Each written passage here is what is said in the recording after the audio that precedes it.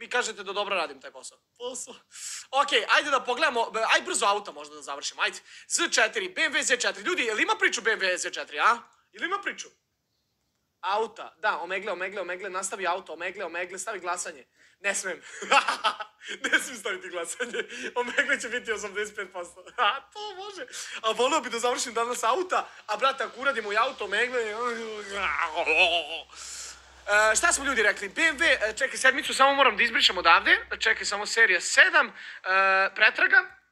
Nisi stavio e, Z4. Evo ga, brate, BMW Z4. Pa, brate, ne znam, ono, oko 20 kaja, a? Mislim, ne... Šta je ovo na, ne- na bazenu, na nebu slikano ovo?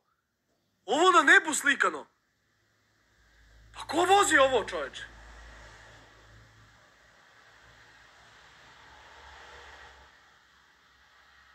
Ovo Tito vozi. Eto šta pričam. Brate, gle ovo na nebu su ga slikali. Više žena megle, ali poštedi zbog škole. Ali poštedi više žena megle, poštedi zbog škole. Alo, bidi bol. Daj megle. Nebeski auto, brate.